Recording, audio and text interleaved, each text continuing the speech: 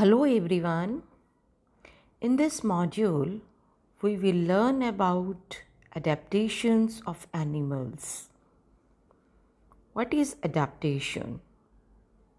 The ability of living things to adjust themselves to their environment is called adaptation. Adaptations are characteristics that birds, animals have developed over the years which help them survive in their environment or habitat. Let's learn about adaptations of marsupials.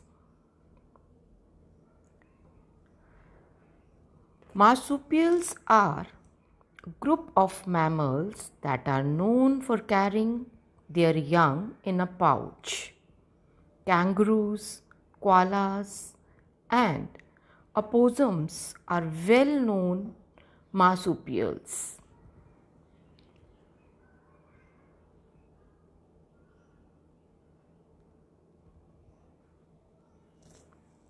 Kangaroos Female kangaroos have pouch called marsupium. A baby kangaroo lives in its mother's pouch for about 6 months. Female kangaroo have an abdominal pouch to carry their young ones. At birth, the babies are not fully developed. They develop later in marsupium. Koalas. Koalas also have pouches, but unlike kangaroos that have pouches that open upwards towards their heads, koalas have pouches that are back facing. That is, they open towards their hind legs.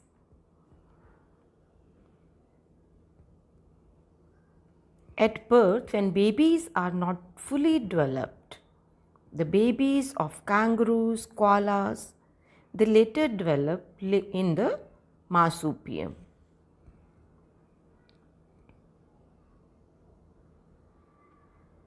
Now, let's learn about the adaptations of primates.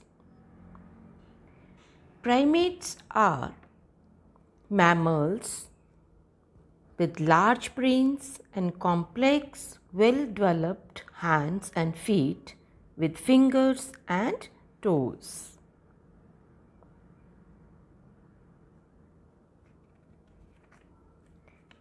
Primates, their brain is larger than that of other terrestrial mammals. And they also have flat nails, whereas all other mammals have claws or hooves.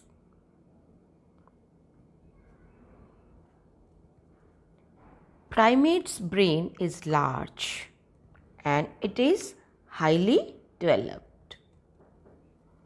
They are intelligent beings. They have a highly developed sense of color. They have eyes in front of their heads, allowing them to judge depth and distance. Monkeys, chimpanzees, and apes walk on all four limbs, whereas humans are the only primates that walk on two legs.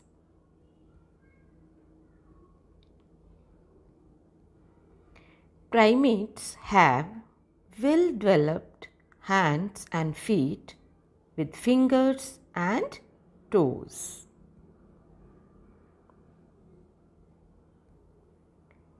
Primates give birth to fully formed offsprings after a long gestation period in the mother's womb. Do you know? Primates are very social animals with strong bonds within the family or pack. It's all about primates. Thank you.